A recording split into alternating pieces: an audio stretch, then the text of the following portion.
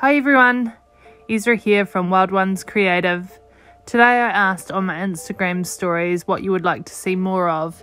So today I decided that I was going to film myself doing a second layer on this ocean piece and teach you all how I get my lacing and cells to pop. So for the second layer on this ocean piece we are using Mastercast 121 resin. It's lovely and thick and holds the details well for our lacing. And I'm also using a Liquitex acrylic ink, and this colour is deep turquoise.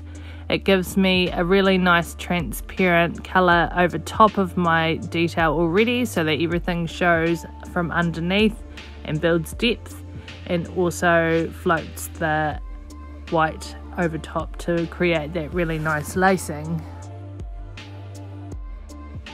To get the beautiful, structured, and detailed lacing that I get in my ocean art pieces, there are a few processes that I like to go through to be able to achieve this look.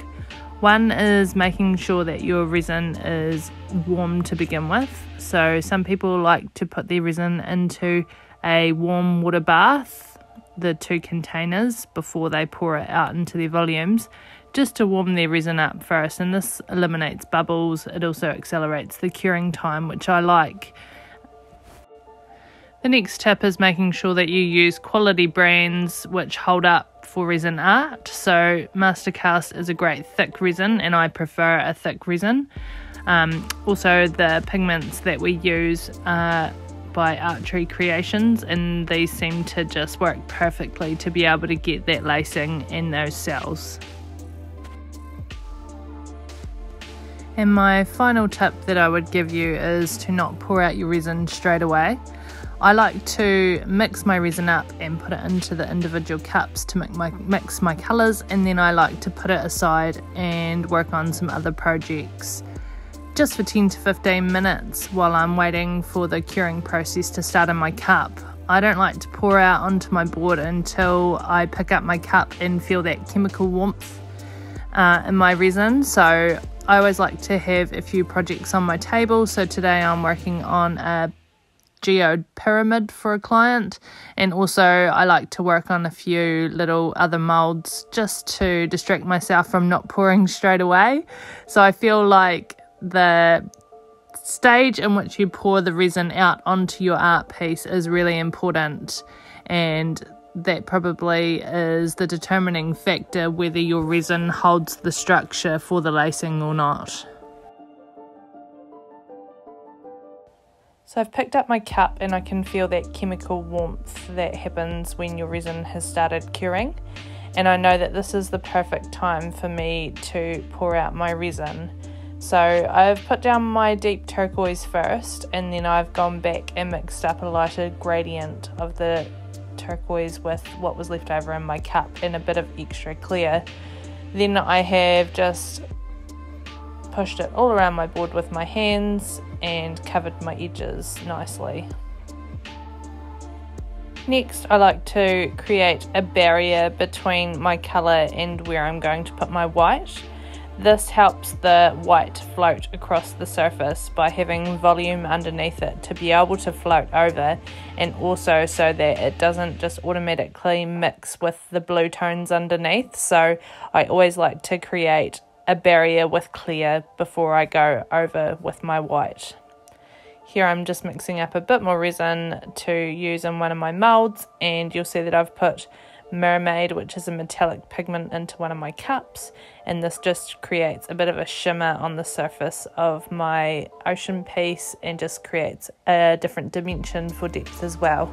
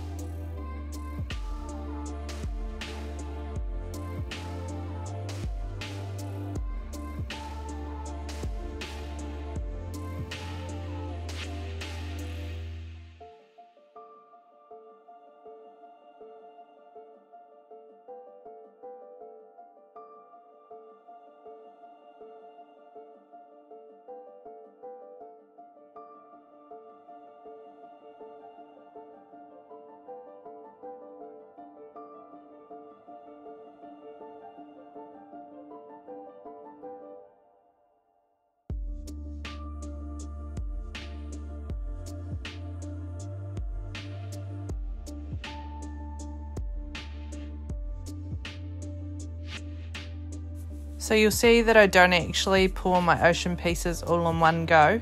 I really feel like timing is a huge factor in creating a really nice resin art piece with beautiful lacing. So I like to distract myself with other projects while I'm letting it get to the point before I hit it with the heat gun. So I have pushed the mermaid tone around with my finger just to create a gleam on top of the surface and then I've gone in with my barrier pour which is clear and then added the white on top so this is going to mean that my white just floats across the surface and doesn't mix with the blue tones.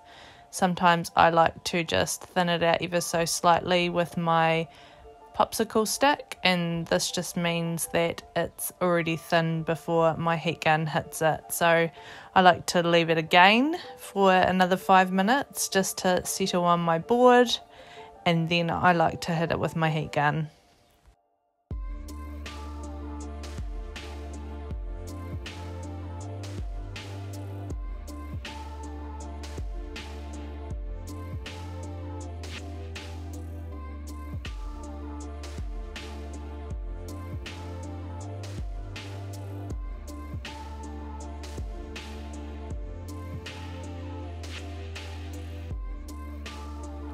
So after letting my art piece rest for 5 or 10 minutes, I've gone in with my Mako heat gun on the second heat setting.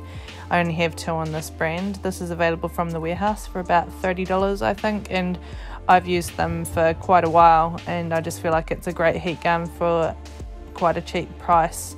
So I've gone in with my heat gun and you can see that I'm just hitting it with my heat gun and pushing it out and trying to fan it away from myself.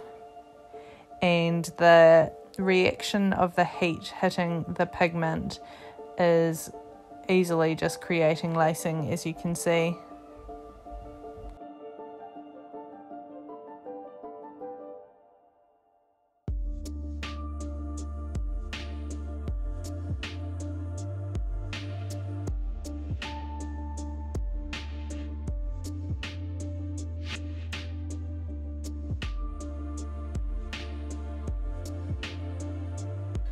So, unfortunately for you guys, the next part is pretty shaky because my tripod broke and I am trying to film myself using the heat gun whilst I'm holding my phone. So, it's maybe a wee bit shaky.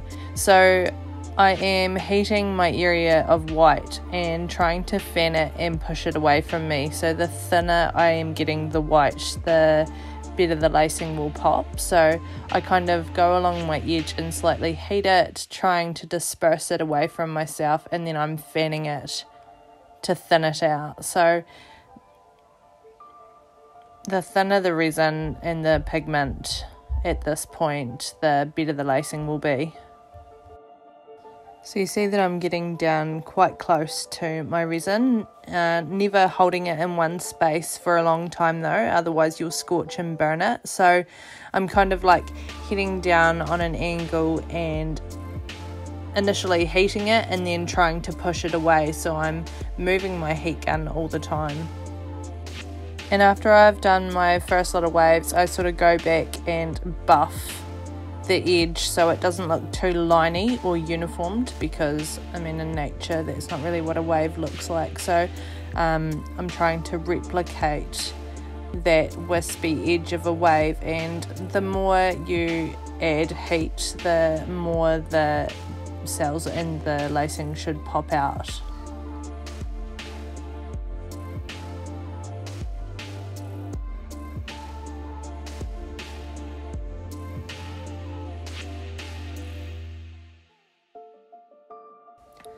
After leaving my board to cure for a bit longer, I've gone over with my heat gun just to heat some bubbles that were rising up on the surface, and this is the beautiful lacing that I have created today.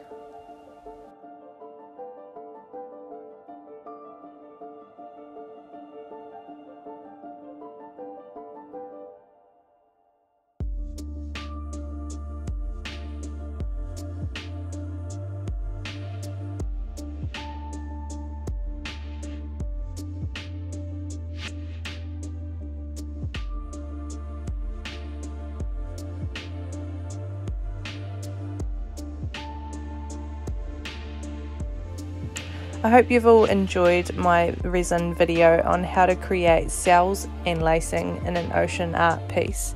And I'd love to hear from you if you've found the tips useful or if you've tried to recreate a piece. So everything that I've used today is available on my website at wildonescreative.co.nz. Have a great day.